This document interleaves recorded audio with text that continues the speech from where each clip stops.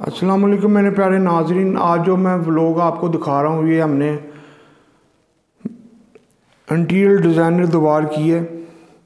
इसमें हमने ये ब्लैक कलर की कोशिश की है और इसमें ये मिनर्स लगाया है और ये ऊपर ग्रे कलर की कोशिश की है। ब्लैक और ग्रे का कम्बिनेशन दिया है। ये निश थी आठ दस की ये निश है और इसके साथ ये सारा एशवुड का ये फ्रेम बनाया है। ये एशवुड का फ्रेम बनाया है। तो ये देखें, ये कैसी आउट क्लास हमने ये बनाई है।